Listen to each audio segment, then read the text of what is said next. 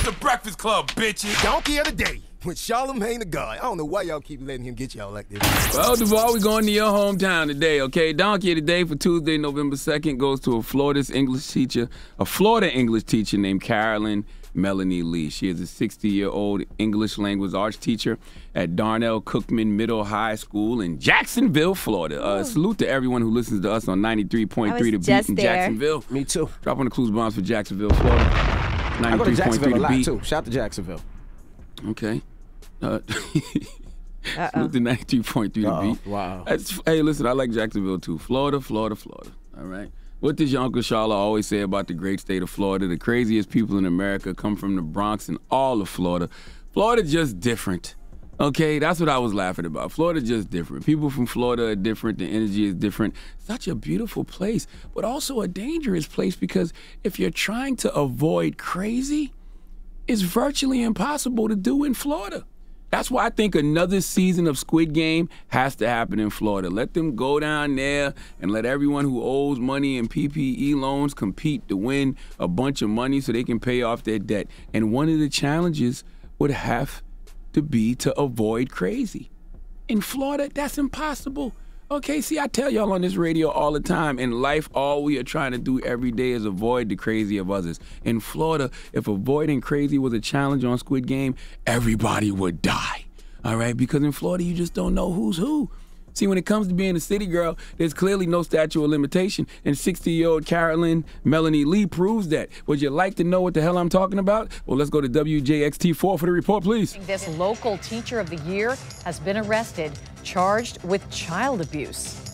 The teacher is Caroline Lee from Darnell Cookman School of the Medical Arts, and she was named the school's teacher of the year just two days ago. The victim stated in the report that when she arrived to her first period class on Friday, her teacher said Lee wanted to talk with her. The report says Lee brought the student back to her classroom and asked the student why she threatened her. According to the report, the student said she never threatened Lee, but Lee then reached across a table and struck the student with the palm of her hand. The report goes on to say Lee called the victim expletives and then kept hitting her on the top of her head as her nose kept bleeding. The victim stated she began trying to hold both of Lee's arms to keep from being struck, and Lee kicked her lower leg. According to the report, the violent incident was preceded by an Instagram argument between Lee and the victim on the Duval County Schools page. This was where Lee was being congratulated for winning Teacher of the Year two days prior. There was a comment that questioned if Lee was the teacher that used the N word last year in class. A response from Lee said that she used it in the context of the book of Mice and Men. The student said on the post that that was not the right thing to do, and Lee agreed. In the report, Lee said she interpreted one of the comments as a threat to kill her. First of all, dropping the clues bombs for mice and men. Okay. Lennie and George, I mean, one of the saddest tales you will ever read in your life, man. Oh. Of emotional thinking about it. A 60 year old Florida English teacher who was named Teacher of the Year two days prior to this incident decided to set it on a student because the student was popping off about her on Instagram. Can you imagine being 60 years old, not liking a comment you saw about yourself on Instagram, and then storming into a classroom and demanding that the student leave with you because you got beef?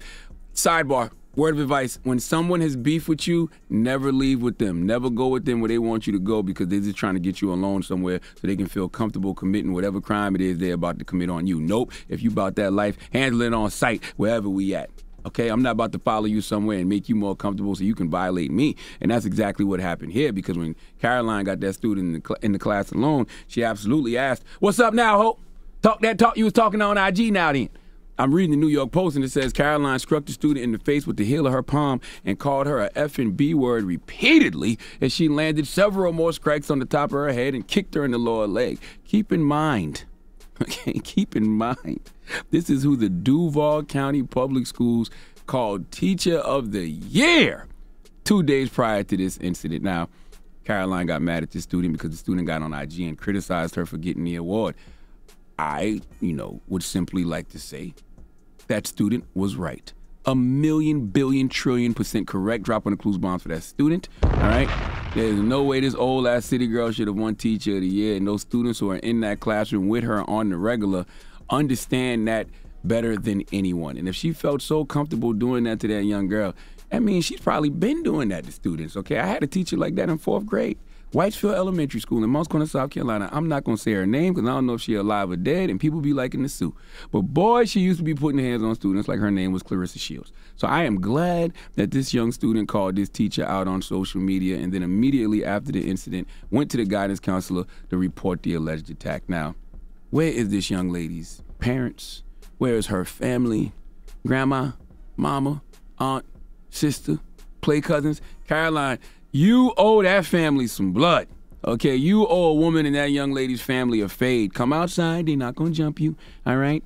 It's time for Floridians to have a crazy contest to see who can out crazy who. She put her hands on your child. Now you must put, you know, your hands on her. All in the name of Trina. Those are the rules of Florida. All right, now Caroline has been removed from the classroom and will not return, pending the judicial and internal procedures. this is just another reminder that there is fool and then there is Florida fool. And ain't no fool like Florida fool because Florida fool don't stop. Please let Remy Ma give Caroline Melanie Lee the biggest hee haw. Hee haw, hee haw. You stupid motherfucker. Are you dumb? And salute the district superintendent, Dr. Diana Greene. She said, uh, We will cooperate with all investigations, and pending those results, we will take the actions necessary to stand up for and protect our students. Donkey Today is brought to you by the law office of Michael S. Lamonsoff. Don't be a donkey. Dial pound 250 on your cell and say the bull if you've been hurt in a construction accident. That's pound 250 from your cell and say the bull.